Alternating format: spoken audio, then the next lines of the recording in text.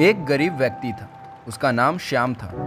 रोज काम करने के बाद भी इतना पैसा नहीं कमा पाता था, जिससे उसके परिवार का भरण पोषण हो सके। उसके परिवार में दो छोटे छोटे बच्चे और एक पत्नी भी थी। बच्चे छोटे होने के कारण उसकी पत्नी बाहर कोई काम नहीं कर पाती थी, जिससे उसके पति की थोड़ी बहुत भी मदद हो सके। पूरा दिन उसका अपने बच्चों के पीछे ही गुजर जाता था। जैसे तैसे ज़िंदगी कट रही थी। श्याम तंग आ गया था इस ज़िंदगी से। एक दिन वो घर छोड़कर चला गया। और वहीं पास के गाँव में गौतम बुद्ध अपने चेलों को ज्ञान दे रहे थे। श्याम गौतम बुद्ध के पास पहुँचा और कहने लगा, मैं भी आपका चेला बनना चाहता हूँ। गौतम बुद्ध ने कहा, ठीक है। एक दिन गौतम बुद्ध और उसके सारे चेले दूसरे गाँव में भ्रमण करने जा रहे थे। बहुत गर्मी थी। सभी का प्यास से गला सूखा जा रहा था। तभी सभी लोग एक पेड़ की छाया में बैठ गए। गौतम बुद्ध ने श्याम से कहा, बगल में एक सरोवर है। वहाँ से तुम जल भर के ले आओ। गुरु की आज्ञा पाकर श्याम जल भरने के लिए सरोवर की तरफ़ चल पड़ा। जब वह सरोवर के पास पहुँचा, तब बहुत सारे जानवर सरोवर में उद्धम मचा रहे थे। जैसे श्याम सरोवर के निकट पहुँचा, सभी जानवर डरकर भाग गए। जानवरों के उत्पात मचाने से पानी बहुत खराब हो गया था। पानी पीने लायक नहीं बचा था। उसमें सारे सड़े गले पत्ते ऊपर आ गए थे। श्याम बिना पानी लिए वापस आ गया। गौतम बुद्ध से कहने लगा, गुरुदेव, पानी दूषित हो चुका है। पानी पीने लायक नहीं है। गौतम बुद्ध चुपचाप सब कुछ सुन रहे थे। वो कुछ नहीं बोले। कुछ देर बाद उन्होंने उसे फिर से आज्ञा दी। अब पानी भर के लाओ। श्याम रास्ते भर सोचते सोचते जा रहा था कि गुरुदेव ने उसे दोबारा वापस क्यों भेजा?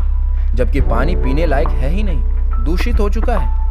जब वो सरोवर के पास पहुँचा तो वह आश्चर्यचकित हो गया। वह अपने आप बोलने लगा, अभी कुछ देर पहले पानी पूरा गंदा था और अचानक से अभी इतना साफ़ कैसे हो गया? फिर वो घड़े में पानी भरा और वापस आ गया गुरुदेव ने उसे बताया, इस पानी की तरह हमारा मन है, जो कभी भी स्थिर नहीं रहता। जिस तरह जानवरों के उत्पात मचाने से पानी दूषित हो गया था, उसी प्रकार जब हमारे जीवन में कठिनाई आती है तो हमारा मन भी अस्थिर हो जाता है। श्याम को अपनी गलती का पछतावा था।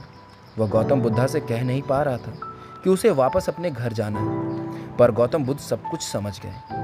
पर उन्होंने श्याम से कुछ कहा नहीं। वह सही समय की प्रतीक्षा कर रहे थे। एक दिन एक बहुत निर्धन और बूढ़ा व्यक्ति गौतम बुद्ध से मिलने आया और कहा, सभी लोग खुश और समृद्ध हैं, पर मैं खुश नहीं हूँ, पर क्यों नहीं हूँ? भगवान बुद्ध ने मुस्कुराते हुए कहा, तुम गरीब और निर्धन इसलिए हो क्योंकि तुमने आज तक कभी किसी को कुछ दिया ही नहीं। गरीब व्यक्ति आश्चर्यचकित हो गए उनके बातों को सुनकर और कुछ देर बाद बोला, मैं भला किसी को क्या दे सकता मेरे पास देने के लिए कुछ है ही नहीं। मेरा खुद का दूसरों से भीख मांगकर गुजारा होता है। वो बोले, तुम बहुत बड़े अज्ञानी हो। ईश्वर ने तुम्हें देने के लिए बहुत कुछ दिया है, मुस्कुराहट दिया है, जिससे तुम लोगों में आशा के किरण के संचार कर सकते हो। मुँह से दो मीठे शब्द बोल सकते हो, अपने हाथों से लोगों की मदद कर सकते हो। ये तीन चीज़ जिसे भी मिला है, वो कभी भी गरीब नहीं हो सकता। निर्धनता का विचार आदमी के मन में होता है। उसे अपने मन से निकाल दो। ये एक भ्रम है। वहीं बगल में श्याम खड़ा होकर सब कुछ सुन रहा था। उसे सब समझ आ गया था। गौतम बुद्ध के पास गया और क्षमा मांगने लगा और खुशी खुशी अपने घर लौट गया। शिक्षा। दुखी और गरीब होना भ्रम है, ना कि वास्तविकता।